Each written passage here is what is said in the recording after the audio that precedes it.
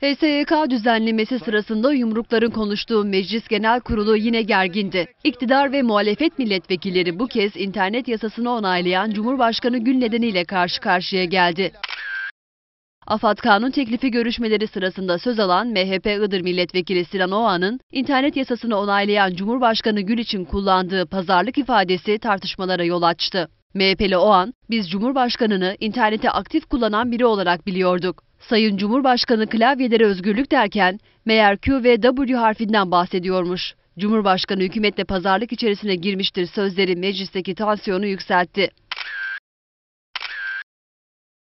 AK Partili vekiller o anın bu sözlerine tepki gösterdi. Meclis Başkan Vekili Sadık Yakut ise MHP'li o sözleri nedeniyle üç birleşime girmeme cezası talep etti. Ceza talebini CHP ve MHP eleştirince AK Partililerle sözlü tartışma yaşandı. Meclis Başkan Vekili tartışmalar üzerine birleşime ara verdi. Aranın ardından Yakut o anın sözleri için özür dilemesini istedi. MHP'li o an kullandığı kelimenin hakaret olmadığını, özür dilemeyeceğini söyledi.